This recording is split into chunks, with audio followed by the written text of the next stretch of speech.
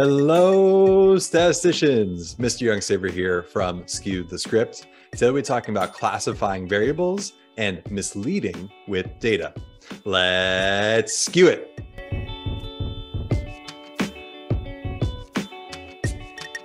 Today's lesson is on misleading with data. This is lesson 1.1 in our course sequence.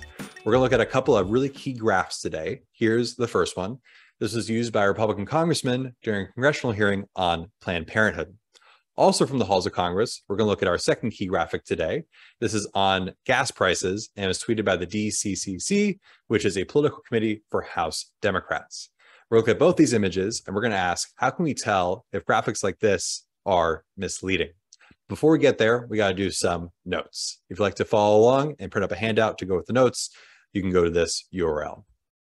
So first, we're going to talk about classifying data and variables between quantitative and categorical. Quantitative data is data that is numerical. Think quantities, quantitative. The values have an inherent order. So for example, number of AP classes you're taking, SAT score, blood pressure, etc. Those are numerical variables that have an order. There's higher and lower. Um, a good way to tell if a variable is quantitative is to find the average and see if that average makes sense. So for example, I can find the average SAT score among, among a bunch of students, and it would make sense to do so. Categorical data is data where values are categories or group labels, and those often don't have an inherent order. For example, eye color, ethnicity, favorite sports team, etc. Eye color, for example, there's no inherent order between green, brown, blue, etc. And so we can see this is categorical. Another tip is you can think about, can I find the average and does it make sense to find the average? So for example, for relationship status, let me find the average between married, single, in a relationship. It doesn't really make sense to average those values. Um, so that's how we can tell it's categorical. So here's an example. We have some data on three different students. We have their heights. This is quantitative. Heights have an inherent order and find the average height makes sense. We have their dominant hand, left or right. These are categories with no inherent order, left and right. Um, and we can't just average left, right, left, right. That doesn't really make a lot of sense. Um, final exam score, that is quantitative. We have an inherent order. There's higher or lower exam scores, and it makes sense to find the average exam score. How about zip code? I'm seeing numbers here. So that first I'm thinking, maybe this is quantitative, but do zip codes have a clear order? And does it make sense to find the average zip code? Would that be a meaningful statistic? Well, it turns out no. Um, there's no inherent order to zip codes. They just are labels for different locations. And if I were to find the average zip code, it wouldn't really be a meaningful statistic. So actually, even though there are numbers here, this is fundamentally a categorical variable. So now we're going to talk about misleading graphics. And a lot of statistics is looking at for BS. And we all know what BS means. Yes, bad statistics, of course. And I'm going to show you how to look for BS in data visuals today.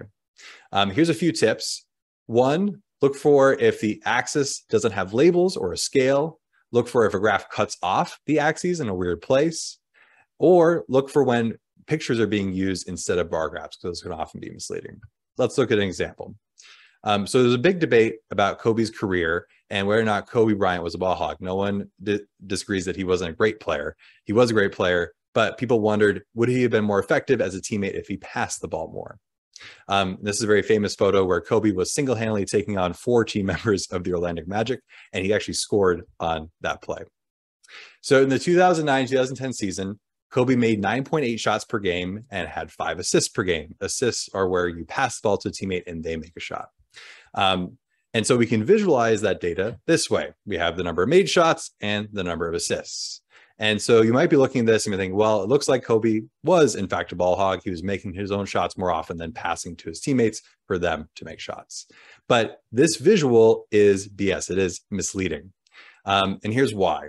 We see that the number of made shots per game is higher than his number of assists per game. It's in fact almost double. Um, so we should see in our graphic a visual where the made shots appears to be almost double the number of assists.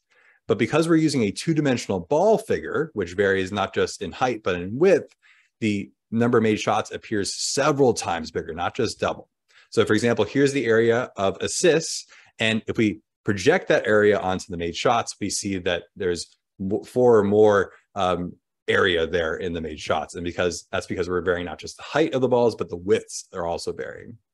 Um, if we use a regular bar plot instead without the images, we're just going to vary the bar's heights. And so now the number of made shots is truly uh, double the area of the number of assists. And so we get a more transparent data graphic. So for these reasons shown, pictographs are often misleading, so you got to watch out for them. However, standard bar graphs can be misleading too. Here's an advertisement for Chevy, where they're advertising that 98% of all Chevy trucks sold in the last 10 years are still on the road. And they're trying to portray this is better than Ford, Toyota, and Nissan.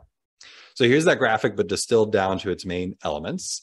And I'm going to show you the actual data here. So we have 98.3% of Chevys still on the road, 97.5% of Ford trucks still on the road, et cetera, et cetera. Um, and Nissan's represented this tiny, tiny little bar at 95.4%. So 95.4% of Nissans are still on the road, and they just get this tiny bar showing that. We look at Chevy, there's many of those bars included in the total height of the Chevy graph. But here's the thing Nissan had 95.4% of its cars on the road. Chevy only had three percentage points more at 98.3%. So it doesn't make sense to make their bar that much higher. So what's going on here? Well, we see that we have a truncated y-axis. It's starting at 95% and ending at 100. We're zooming in at the top of a percentage range.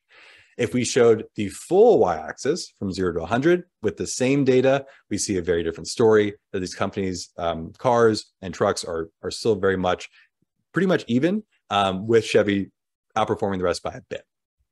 Um, so let's move on to a place where you'll find many misleading graphs, and that's Congress.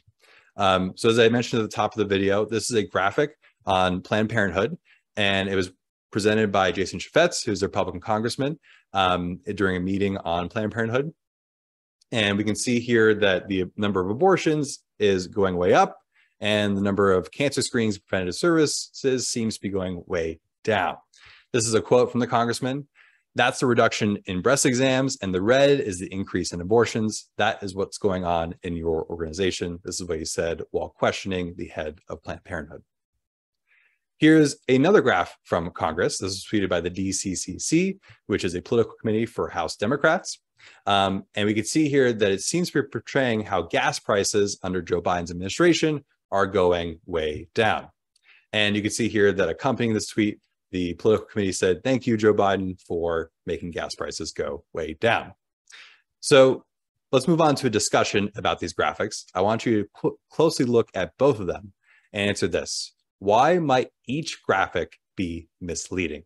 I want you to give a very clear explanation as to why. We'll discuss that in class. Thank you all so much, statisticians, and have a good one.